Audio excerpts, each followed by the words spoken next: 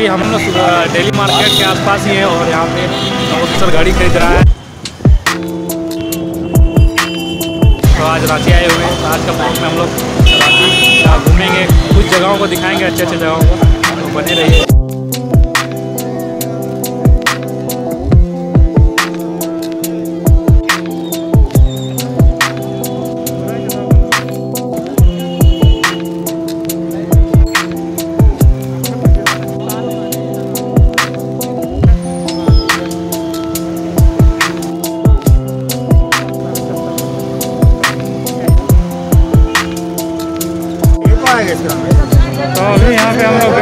रहे लिए थे हम लोग घड़ी, अब यहाँ पे हम लोग बेल्ट और यार मेरा मास्क गिर रहा है।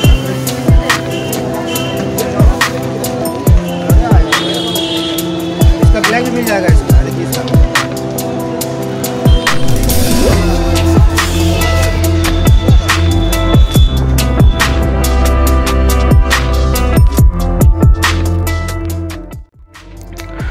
तो ये पूरा वीडियो हमें शूट करने में लगभग दो दिन लगे क्योंकि जब पहले दिन हम लोग गए थे, दरअसल हमें नवकिशोर का मोबाइल है, उसे सुधा कॉम्प्लेक्स में बेचना था, और नया मोबाइल नया मोबाइल नहीं, सुधा कॉम्प्लेक्स से ही सेकेंड हैंड मोबाइल खरीदना था तो पहला दिन था संडे तो जिस वजह से हम लोग का काम नहीं हुआ, क्योंकि हमें पता नहीं था कि संडे को सुधा कॉम्प्लेक्स बंद रहती है तो फिर कुछ वीडियोज़ लिए, लेकिन उतनी अच्छे से वीडियोज़ नहीं ले पाए, क्योंकि ये मेरा पहला एक्सपीरियंस था इतनी रस भीड़ भाड़ इलाके में ब्लॉगिंग करना।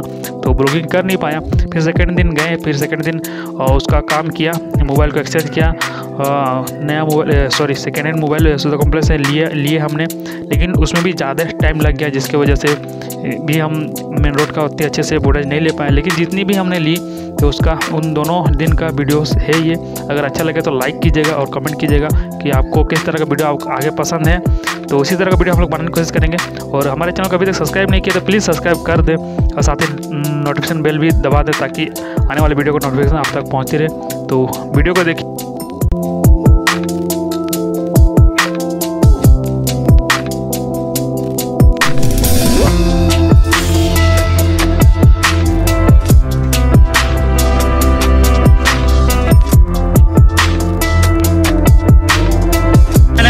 पहुँच चुके हैं सुधा कॉम्प्लेक्स अभी यहाँ पे इसका मोबाइल का थोड़ा रिटर्न रिटर्न है सॉरी मतलब सेकेंड हैंड में अगर बिकेगा तो देखते हैं तो अभी मार्केट घूमेंगे।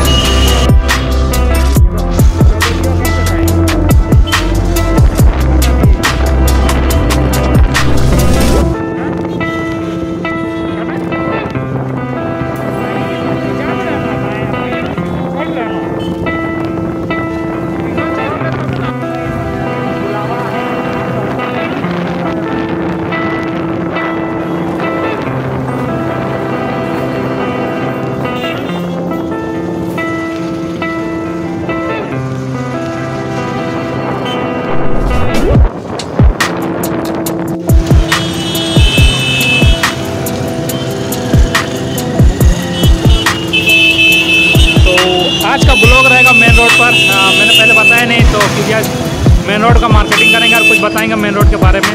तो ब्लॉग को देखिएगा और वीडियो का देखिएगा तो लाइक कीजिएगा अच्छा लगेगा तो।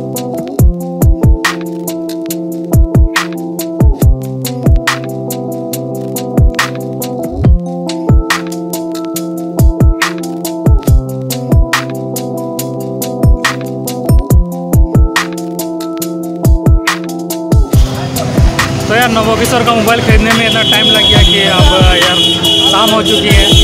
देखते जितना लाइट होता है लाइट में जितना वीडियो कर सकते करेंगे मेन रोड का। आ, बहुत ज़्यादा खिंचा गया। उसका मोबाइल खरीदने में टाइम ज़्यादा लॉस हो गया।